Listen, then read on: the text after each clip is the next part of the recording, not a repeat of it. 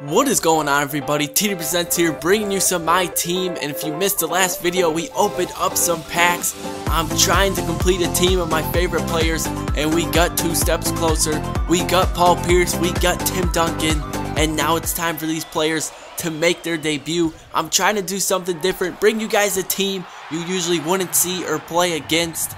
And also, I'm trying to play team basketball, trying to replicate the style of the San Antonio Spurs. And Bill Russell's going to complete probably the slowest fast break I've seen in 2K. But it doesn't matter, it's still worth two points. But my opponent's going to come right back.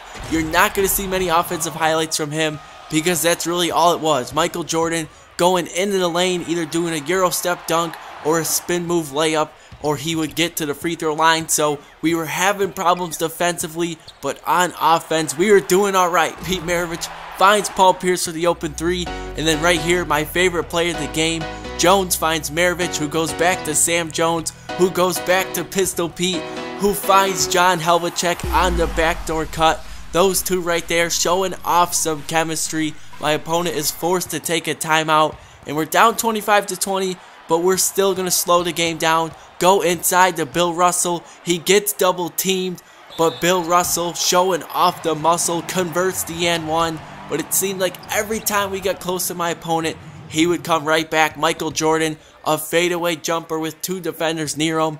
And now Tim Duncan in the post. He brings the double team, so we find a wide open Gordon Hayward. And G Time was doing his thing. He came out on fire in the second half. Hits another three pointer right here. We cut the lead to five, and now Kawhi Leonard drives inside, misses the layup off the rim. Bill Russell going to find Paul Pierce up ahead, and he's showing off some youth in those legs. Throws down the dunk, and now Pete Maravich off the pick and roll. A wide open lane, no help defense. We cut the lead to four, but we couldn't get a stop.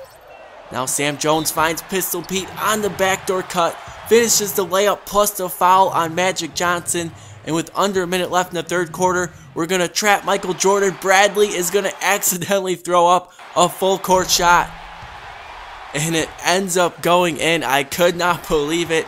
Avery Bradley with probably the longest shot I've seen in 2K14. And now on the other end, we get the steal. Bradley finishes with the dunk.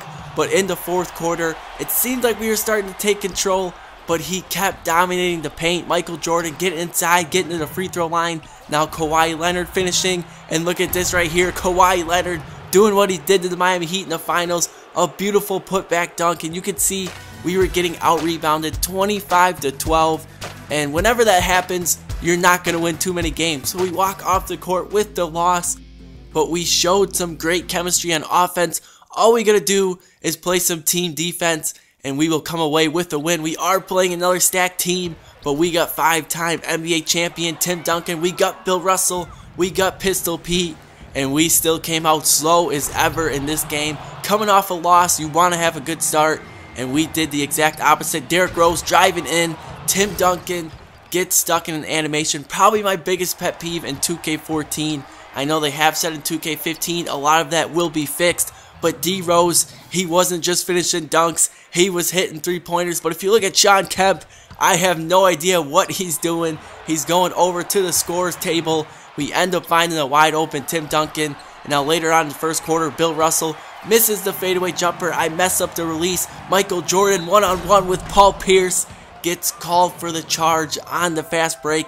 And after that play, we started to gain some momentum. Pistol Pete crosses Steph Curry, hits the pull up jumper. And now with under 5 seconds remaining in the first quarter, comes loose on the pick and roll, hits the three-pointer, and he was not done. Starting off the second quarter, this time, step back jumper on Derrick Rose. And at one point, he had everything to do with our scores, whether it was scoring or it was an assist. We're down 34 to 32 at this point. Tim Duncan misses the putback dunk, and Scottie Pippen finishes a beautiful reverse jam but for some reason he doesn't get back on defense. We have a 5 on 4 advantage. Paul Pierce finds a wide open Gordon Hayward and he is starting right where he left off last game. Hits another three-pointer and once again Paul Pierce is going to make the extra pass.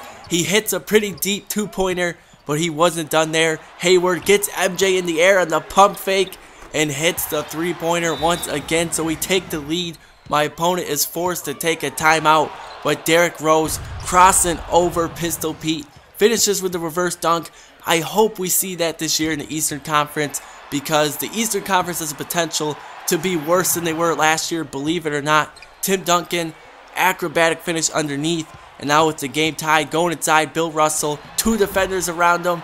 It doesn't matter. He gets the layup to go. We're tied at 58 apiece. Maravich is going to find Duncan underneath, who's going to get to the free throw line. So we're going back and forth. Neither of us can seem to get a stop. Paul Pierce comes off the screen. Nice little pump fake finishes underneath. And now 61-59 Jordan going inside. Maravich gets the block off the backboard. We're looking to run in the fast break. Paul Pierce pulling up for the jumper.